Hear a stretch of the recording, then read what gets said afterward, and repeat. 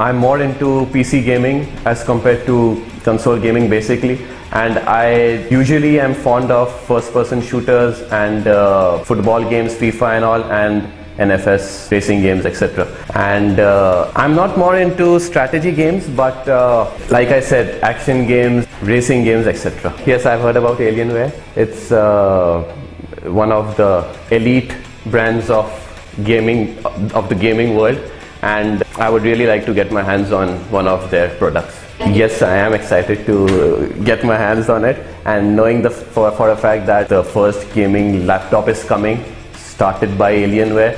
I'm pretty much excited to get my hands and on it and try it ASAP. Basically, Alienware it gives you the complete package in a way that it has each and everything which a gamer needs. You don't have to tell them what you want exactly in a gaming PC, they provide you by themselves only. Depends on when it's getting released. Uh, if it's coming out like recently now, I would like to play uh, Mafia 2 or any of the latest games which are currently available in the market and specifically those games which require the full potential of the the gaming hardware that's present in the laptop or PC or whatever because these games require lots and lots of you know graphics power and processing power and everything so I'm sure Alienware would be able to provide what I need and that's why I would like to go for these hardcore games only.